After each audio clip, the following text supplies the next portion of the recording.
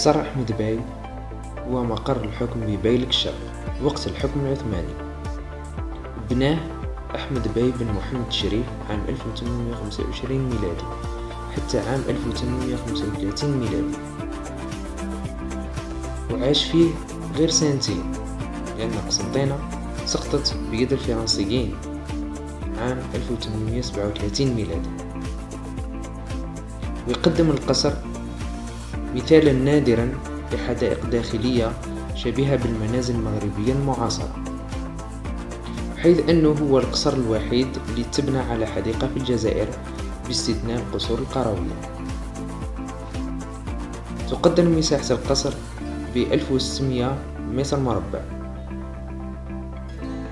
ونلقاو في الطابق السفلي تاعو 121 غرفة و 500 باب وطاقة مبنيين بالخشب.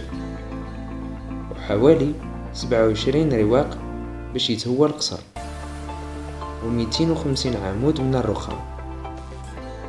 وفيه تاني بناء رئيسي محاط بخمسة أقواس.